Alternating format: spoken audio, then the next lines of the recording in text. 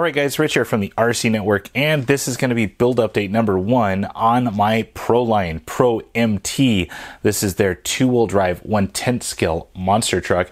Now, typically, I usually do about one to two build updates, but being so used to building four wheel drive vehicles, this two wheel drive vehicle just went together like in a quarter of the time practically.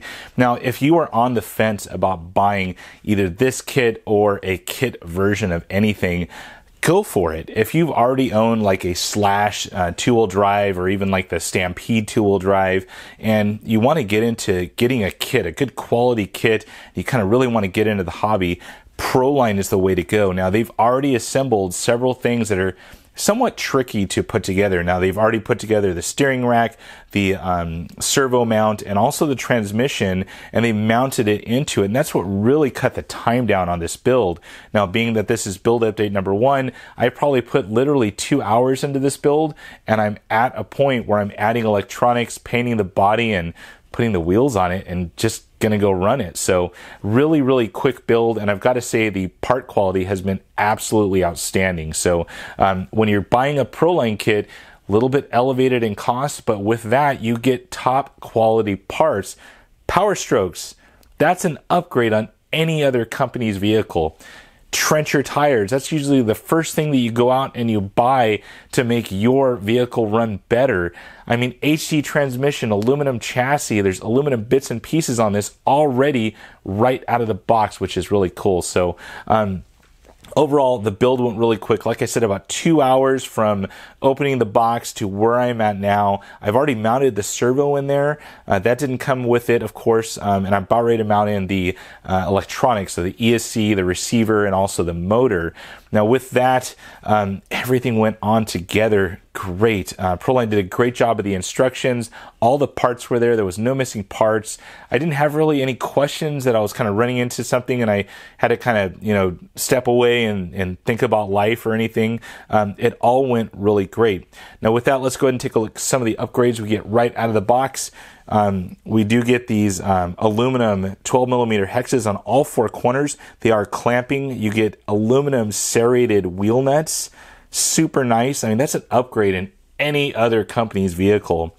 Proline Power Strokes. Now, these do not come with fluid uh, already in them, but Proline includes the fluid. So, um, really easy to bleed. They actually have like a little QR code in the owner's manual. Scan that, shows you a video on exactly how to um, fill it with oil, which is nice.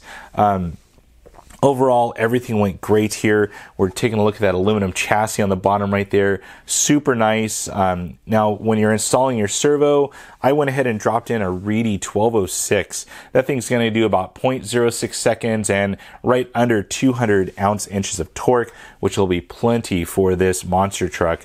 Now, on this, um, you do have to disassemble the side here, which came pre-installed from the factory to get into all of the screws there that you're seeing here for the servo. So keep that in mind. Um, on down the line here, uh, other upgrades that we're seeing, these spline drives, super, super nice. Really impressed with them. They have telescoping feature. They're all steel. They're hardened steel. Um, they're not going to budge. So you can put some serious power through this thing without having to worry about anything breaking. So really nice. You do have four millimeter steel turnbuckles on all six points. Both steering and the front and rears are all steel power strokes. These things are so nice. Probably my favorite shock on the planet uh, to not only work on, to build, to use, to fill with fluid, easy to bleed. You have bleeder holes already pre-done in there for you.